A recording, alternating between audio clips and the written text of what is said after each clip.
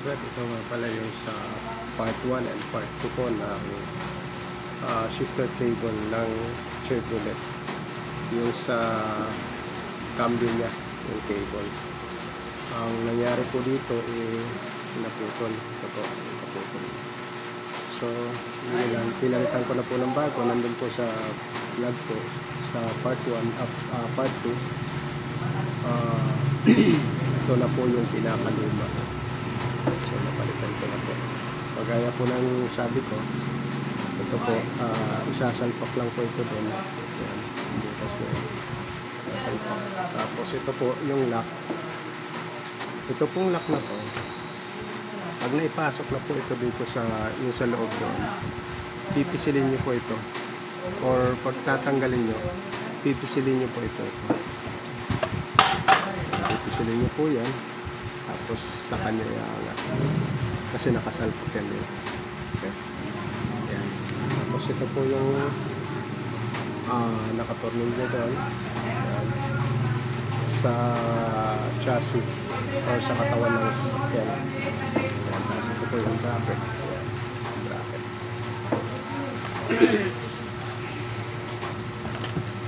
Ah, tapos po, ito yung dulo niya. Po yung pinakadulo niya. Yung sa sa baba, sa may mismong shifter. Ito yung sinasabi ko sa inyo. Ito yung lock. Kailangan, pagka huhugutin nyo siya, kailangan hangat, eh, ano nyo itong lock. Ayan, yan, yan. Ayan yung lock. Ayan. Kailangan, ibaba nyo yung lock, saka nyo mahihilap palabas.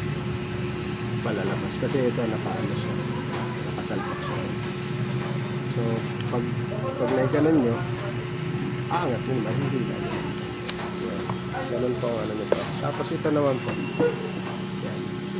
Ihilain lang rin ito yan. Ipinutin lang yan. Kasi nakasalpak lang rin yan sa uh, pinaka-hilain. Ito po ang importante dyan. ito po yung pinaka-importante. So, kasi ang nabibili nating ah, cable, minsan kailangan nating adjustin. Kailangan nating adjustin para umiksi, umaba. So, anong dapat natin gawin? Ito po yung tip para po ma-adjust natin siya. Ito, kung nakikita niyo po ito, pinakalak niya po na itong nasa ibabaw na po. May lock po yan dito. Ayan, yung dalawa na yan. So, ang gagawin niyo po dyan, gagawin niyo po dyan, kailangan paanin yung lock, sikwatin. Tapos, ito po, pwede isikwatin nyo ng mas manipis na bagay. Yan, para mailabas siya. Yan. Pero kailangan ito, dapat nakaga, nakababa. Yung spoon. Sisikwatin nyo po yan. Yan. Pag ito po na naiangat nyo na, kahit hindi nyo tanggalin, yan, nakaangat na siya. oh. Yan, nakaangat na. So, kahit hindi nyo siya tanggalin, basta nakaangat na siya ng ganyan kataas. Ito pong, itong, ano na to, thread, na tataas pa ba yan? Yan, tataas pa ba? Yan. So, ka- kailangan, pag yung luma nyo, makikita nyo kung gaano ka ikli yung adjust ng thread.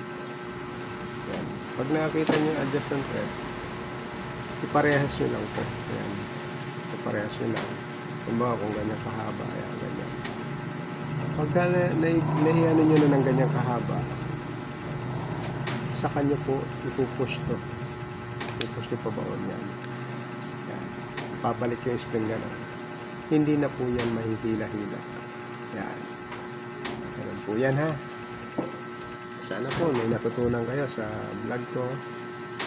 At supportahan niyo po sana para mas marami pa po akong video may upload at matuto kayo ng kahit sa DIY or sarili ninyong ginagawa. Maraming salamat po mga kapatid.